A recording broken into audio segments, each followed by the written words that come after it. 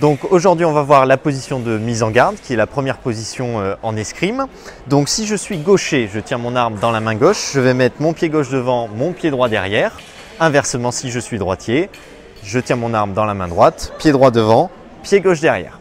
Donc je vais faire la démonstration en gaucher. Mon pied gauche devant, mon pied droit en arrière. Je dois avoir la pointe de mon pied avant face à mon adversaire, mon genou dans l'alignement de ma cheville. Je prends un écartement égal à peu près à la largeur des épaules. Mon pied arrière est positionné à la perpendiculaire de mon pied avant et mes deux talons sont sur la même ligne. Là, on peut le voir sur la ligne de bord de piste. Mes deux talons sont alignés sur la même ligne. Ensuite, pour l'équilibre, je vais descendre sur les jambes, placer mon poids du corps de manière équitable sur les deux jambes. Donc, pour vérifier ça, je peux faire ce petit exercice. À la fois, je lève le pied avant puis le pied arrière. Mon bassin ne doit pas bouger et mes épaules non plus. Là, mon poids du corps est réparti de manière équitable sur mes deux jambes.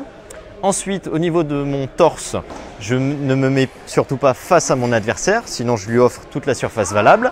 Donc je vais me tourner légèrement, pas non plus complètement. Je vais trouver une position intermédiaire où je suis à l'aise et en même temps assez de profil pour pouvoir me défendre. Voilà. Je suis fléchi sur mes jambes, un petit peu de profil, la main armée menaçante face à mon adversaire, mon poids du corps réparti de manière équitable je suis en garde.